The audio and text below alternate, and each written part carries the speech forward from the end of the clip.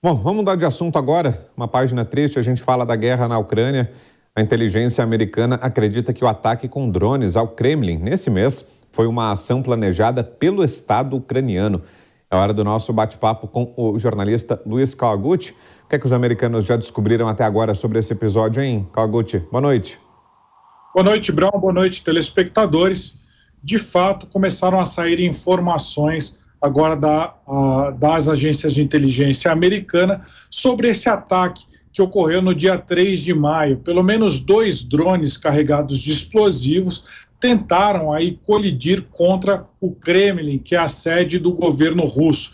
Isso aconteceu quando o presidente Vladimir Putin não estava lá. Só que expôs uma fragilidade, conseguiu mostrar que o, o, tanto Putin quanto o Kremlin não são tão invulneráveis, ou seja, eles, estão, eles estariam ao alcance das forças ucranianas. Ninguém ficou ferido nesses ataques, mas o que os americanos estão falando agora é que pode ter sido ou unidades especiais do exército ucraniano ou do SBU, que é uma espécie de sistema de inteligência, é o serviço secreto ucraniano, ou mesmo é, forças ligadas exatamente ao, ao, departamento específico de inteligência. Então, tem três instâncias aí que podem ter feito esses, esses ataques. Os americanos tomaram cuidado para dizer que, muito provavelmente, o presidente Volodymyr Zelensky não sabia desses ataques. Logo no começo, em que, logo depois que esses drones foram flagrados em imagens atacando o Kremlin, os americanos levantaram a possibilidade de que seria uma operação de bandeira falsa, ou seja, o Kremlin forjar um ataque contra si mesmo para depois poder usar de mais violência na guerra. Só que interceptações aí de comunicações russas feitas pelos americanos mostraram, segundo os americanos, que os russos estavam perdidos, eles não sabiam o que estava acontecendo. E eles também, eles também teriam interceptado comunicações ucranianas, mostrando que os ucranianos achavam que realmente partiu deles esses ataques. Como assim achavam? Porque esses, essas diversas forças especiais ucranianas elas operam de forma relativamente independente uma da outra. E os americanos relacionaram outros outros acontecimentos que podem ser atribuídos a essas mesmas forças, como por exemplo o assassinato de uma da filha de um proeminente é, é, partidário da guerra, um teórico dessa guerra, que é o Dugin, é um, de, é um russo que desde o começo da guerra tem incentivado os russos a entrar, invadir a Ucrânia, a destruir tudo. Então, o Alexander Dugin, é, ele tem aí teorias super controversas, tentando enganar as pessoas aí de que a Rússia estaria lutando por uma igualdade maior entre os países ao invadir a Ucrânia. Tudo mentira, claro, mas o, o, o, que não, o que não é aceitável foi a filha desse senhor ser assassinada e aí foi atribuído também a, a autoridades, a, a, forças ucranianas.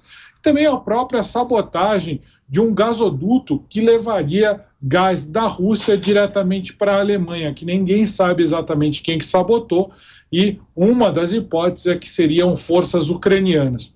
O, o saldo disso tudo é que os Estados Unidos ficam numa situação pouco confortável. Por quê? Porque eles estão oferecendo armas para que a Ucrânia possa se defender.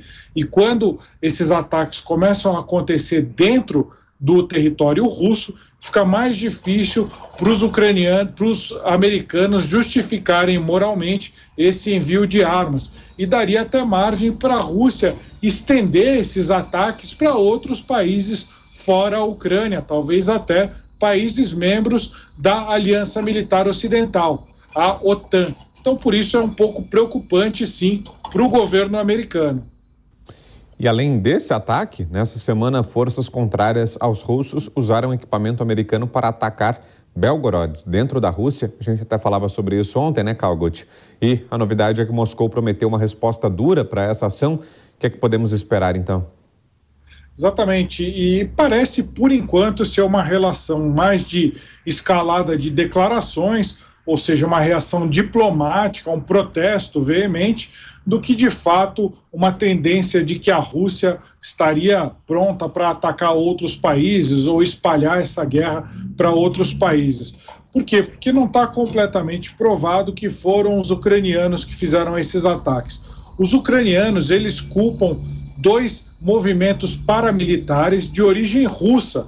O nome desses movimentos são Corpo de Voluntários da Rússia e Legião Russa da Liberdade. Então são paramilitares que eles lutam contra o governo do presidente Vladimir Putin. Os ucranianos falaram que foram esses grupos que entraram, esses grupos assumiram a autoria, falaram que entraram na região de Belgorod e destruíram uma companhia de infantaria motorizada, ou seja, é, infantaria, uma companhia relativamente fraca, uma unidade militar dos russos praticamente é, é, fraca ali naquela região. É, já os russos falaram que mataram cerca de 70 combatentes e chamaram esses combatentes de nacionalistas ucranianos. Então, aumenta a tensão, fica essa dúvida de quem que realmente atacou. Ah, o encontro de equipamentos militares é, é, americanos não prova que seriam os ucranianos que lançaram o ataque, mas é uma forte evidência de que os ucranianos podem ter ajudado esses grupos paramilitares, porque esse equipamento americano, que são praticamente jipes, é, jipes blindados, é, eles foram fornecidos pelos Estados Unidos. Então, como que esses paramilitares é, russos teriam conseguido acesso a esse material? Só se eles tivessem ganhado esse material dentro da Ucrânia. Então está um pouco controverso, não se sabe exatamente quem que fez esses ataques. O, o Kremlin protestou e disse que vai aumentar aí os seus ataques. Os ucranianos, os analistas ocidentais não acham que é, Moscou tem a capacidade de lançar uma grande ofensiva nesse momento. Por quê? Porque eles atacaram muito ali no leste da Ucrânia e teriam exaurido aí uma grande parte dos seus recursos militares. E depois da vitória da Rússia na cidade de Bakhmut, o que é que você espera agora de novidades no campo de batalha, Kaguti? É exatamente essa, essa cidade que eu me referia quando eu falei desses esforços de tomar o leste da Ucrânia. Bakhmut é uma cidade, era uma cidade é, relativamente pequena, com 70 mil habitantes, que baseada, economia baseada na extração de minas de sal, de sal mineral. E o que aconteceu? Essa cidade foi completamente destruída. Inclusive, a gente não pode mais dizer que lá é Bakhmut. Agora não é uma cidade, são só escombros e tem o nome é, russo agora de Artemovsk, porque agora está na mão dos russos. Os ucranianos eles retraíram as suas tropas para posições próximas dessa cidade, em posições mais elevadas, em que é mais fácil se defender, e vão tentar evitar que os russos continuem avançando, principalmente em direção à cidade de Chaziv Yar. É, então vai ficar, vai ficar um pouco mais fácil para os ucranianos impedirem esse avanço russo mas a maior parte dos analistas espera que o próximo movimento da guerra não seja russo. Eles tiveram uma vitória agora em Bakhmut, Artemovsk, e é, agora os analistas não acham que eles tenham recursos militares para continuar avançando naquela direção.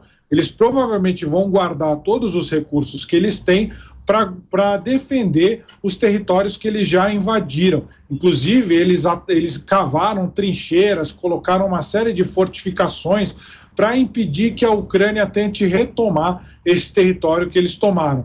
Também a gente não sabe direito o quanto das forças ucranianas foram, é, é, foram destruídas ali na batalha por Bakhmut, Artemovsk, porque não se sabe exatamente o número de baixas ucranianas, então talvez a luta para tentar manter aquela cidade tenha atrasado a contraofensiva dos ucranianos. O que a gente pode esperar agora é os, é os russos numa posição um pouco mais defensiva e os ucranianos tentando retomar nesse verão os territórios que foram invadidos lá atrás em fevereiro de 2022.